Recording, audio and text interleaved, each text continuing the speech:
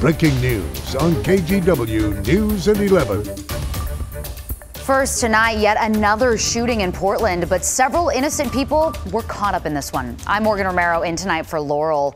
Police believe two groups were shooting at each other in the street near Northeast Garfield and Bryant. The bullets hit at least two homes and a parked car. An in-home daycare was in one of the houses and in the other, a bullet missed a person by just inches.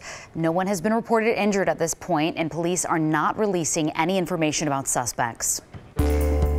We're keeping close tabs on the vaccine rollout in Oregon and Washington. Critical workers, including grocery store employees, can get the vaccine in Washington in just over two weeks.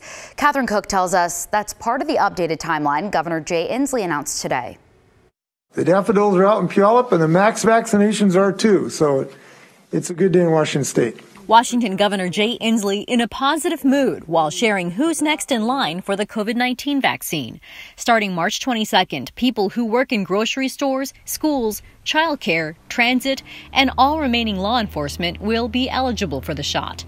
So will people 16 and older who are pregnant or have a condition putting them at high risk. We believe these steps are going to make this vaccine much more available for Washingtonians, and we were thrilled by this information. By April 12th, those over 50 with two or more high risk health conditions will qualify.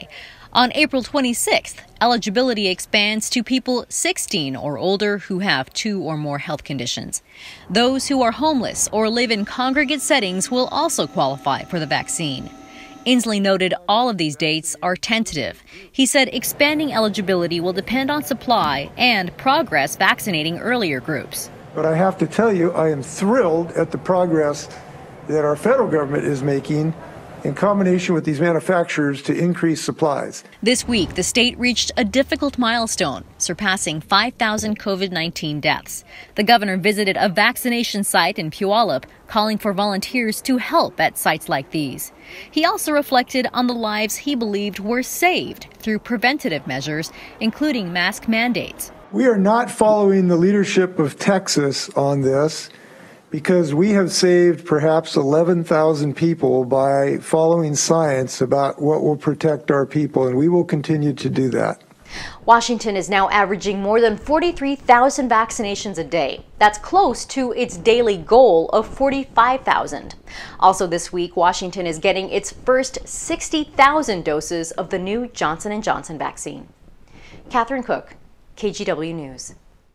We actually did just learn tonight there are new appointments open to the public at the Vancouver Tower Mall site. So if you live in that area, listen up. You can book online through Albertsons.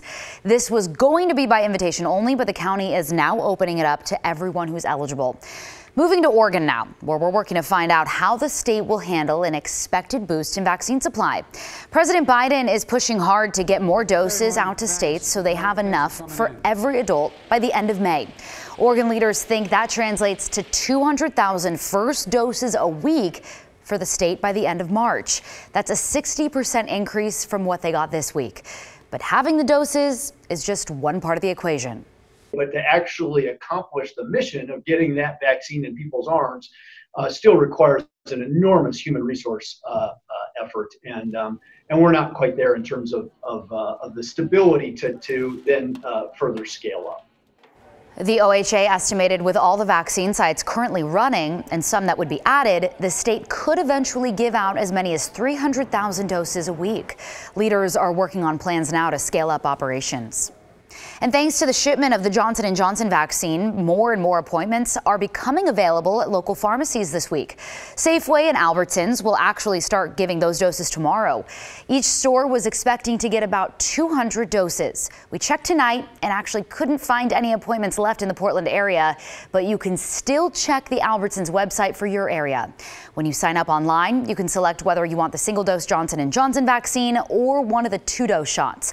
Two other companies, Bi-Mart and Walmart, are also joining the pharmacy vaccination effort here in Oregon. Costco, Fred Meyer, Walgreens, and Health Mart pharmacies have been vaccinating people already. And some people are hesitant to get the Johnson & Johnson vaccine because its overall efficacy rate is lower than the other vaccines out there. But Matt Gregory with our Verify team found out it's really not a fair comparison. Let's verify. How do we measure a vaccine's efficacy? Our sources the CDC, Dr. Anand Parekh, the chief medical advisor for the Bipartisan Policy Center, and Dr. Gigi Gronvall, an immunologist from Johns Hopkins University. First, according to the CDC, a vaccine's efficacy measures, quote, the proportionate reduction in cases among vaccinated persons. Here's how to think of it.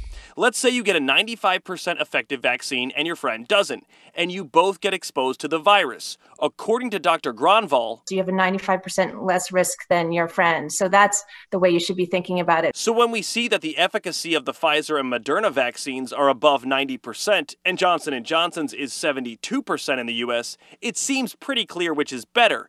However, you know, I, think uh, we all uh, are attracted to numbers. Dr. Parekh explains judging three vaccines by efficacy is difficult. But it's really an apples to oranges uh, comparison uh, between these vaccines. Uh, the endpoints of these vaccines were all different. According to him, the Johnson & Johnson trials took place in several different countries. A lot of the variants that we're talking about also were included there versus the Moderna and Pfizer uh, uh, vaccine trials. And that's just one factor that could easily lower the efficacy percentage of the vaccine. And that's why our experts point to a different number. The bottom line is all of these vaccines are nearly 100% effective in preventing hospitalizations and deaths. It's important to, to remember that a vaccine is not going to uh, be some sort of bulletproof vest that's going to prevent you from um, having contact with the, the virus. And another thing that all of our experts pointed out, the efficacies of all three of these vaccines is still significantly higher than our year-to-year flu vaccine, and we have no problem rolling up our sleeves and getting one of those each year. With your Verify, I'm Matt Gregory. Yeah, really good info. In new developments tonight, Portland can or police confirm Portland City Commissioner Jo Ann Hardesty is not a suspect in a hit and run crash. This all started when someone leaked information from a police report. That report was filed by a driver who said she was rear-ended while stopped at a light at Southeast 148th and East Burnside in Portland. The driver told investigators she believed the person responsible was Commissioner Hardesty. Police say they were able to rule Hardesty out as a suspect after their investigation. The commissioner held a news conference earlier today, saying it was all a quote smear campaign. When you have taken on police accountability issues as long as I have, you come to expect these kind of attacks. I've experienced them in the past, and I expect I will continue to experience them.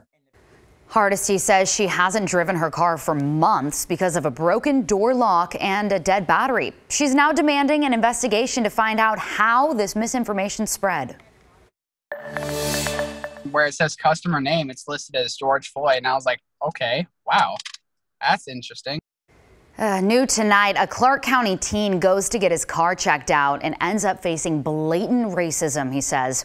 He can't believe what was written on his invoice from a local Jiffy Lube. Our Mike Benner got his story and a response tonight from the company. You're looking at Dustin Hawkins and the 2003 Mitsubishi Eclipse GS he bought just a few weeks ago.